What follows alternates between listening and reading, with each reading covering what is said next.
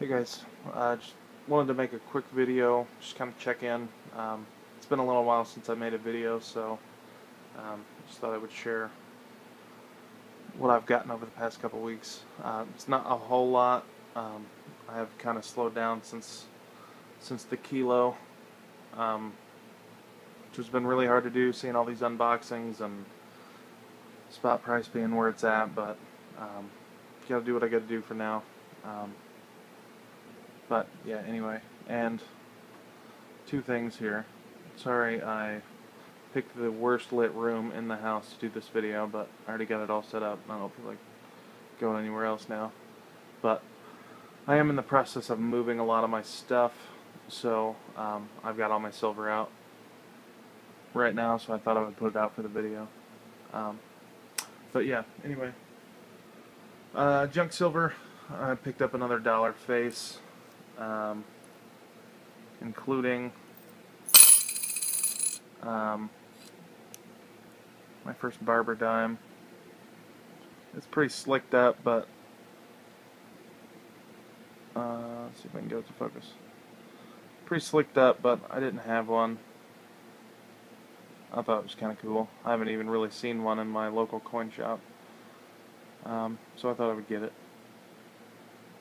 But, yeah there's that. Um, moving on to this crap.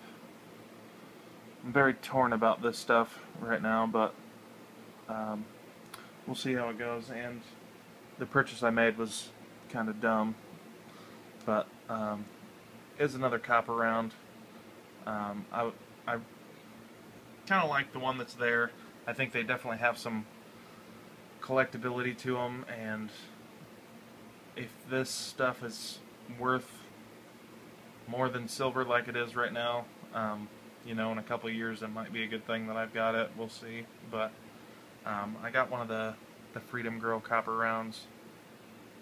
Um, was kind of scouring eBay on the, the buy it now and newly listed, and I ended up actually getting this for six bucks, um, which for how much these copper rounds are going for, I thought was a, a good deal. It's definitely not a good deal for an ounce of copper, but um, I don't know. We'll see how it plays out. I think, I don't know, the last couple designs that Chris has put out, he's back making coins again. Um, he's got Warbird has been released and Love has been released. I actually ordered a couple of the Warbirds. Um, but now I've placed that order, and I don't know if I really want to buy any more of this stuff. Um, when I first got into silver stacking, there wasn't really a whole lot of drama going on with all this, and I thought it would be cool to try to jump in. And originally there were supposed to be 30 coins released, um, and I definitely thought it would be a good idea to try and get all of them and have the whole series and make it worth a little bit more than silver if I tried to sell it. But with all the crap that's gone on, I really don't know if it's going to be worth, you know, five years from now, if it's going to be worth it. So, I don't know. But we'll see. So that's that. Um, moving on to my Canadian stuff. I've seen a couple videos recently of this coin in particular being unboxed, and I couldn't take it anymore. I had to get one. Um, which I know is I feel kind of dumb when I buy one coin and then pay for shipping for it, but that's really all I can afford right now, I guess. But it is the the Canadian maple, uh, the snake privy with kind of that reverse proof look. I really like this. I really like the the reverse look of it and the the frosted look around the outside. I think it's a freaking awesome looking coin. Um, so I had to get one. I really would like to have a tube of them, and I look at the prices on like APMEX to buy a tube, and it is ridiculous. Um, this, I think the last time I looked, it was like around 700 and something, like 730 or something for a tube. I know they have 25 in these tubes, but still. Um, I can't get myself to do that. And I don't have the money, so that helps. But So I got that. Um, that's really all the the new, I guess, new silver editions I've got.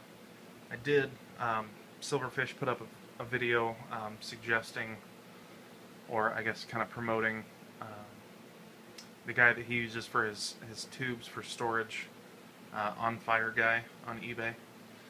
Uh, I think he put that video up last Wednesday, uh, and I honestly I store this all my silver right now is being stored in a couple padded envelopes in a cardboard box.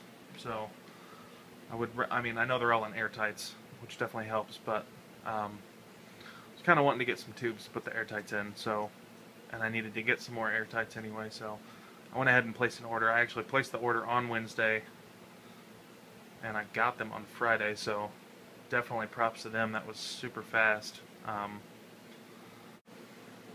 so I've got um, got a couple couple tubes to put them in. Um, got some more air tights. Got like 30 more air tights. I definitely, I obviously don't need that many air tights. I needed one for this, and I used one on this, but I didn't want to have to pay for shipping when I needed them again, so I just went ahead and picked them up. Um, they're not really that expensive, so um, anyway, that's what I've got. Um, I need you guys to keep doing unboxings because I don't have any money to buy silver. So, I'm just going to keep watching your unboxings and pretend like they're mine. Um, so, yeah. Thanks for watching, guys. Um, hope you guys are having a good night. Hopefully, I can make another video this year, this century, and show you some more silver. But in the meantime, here's some more wolves. You see this guy. I promise I don't buy these all the time. I just have these. These are other ones that are in the house. But, uh, anyway. Have a good night, guys. And, uh, talk to you later.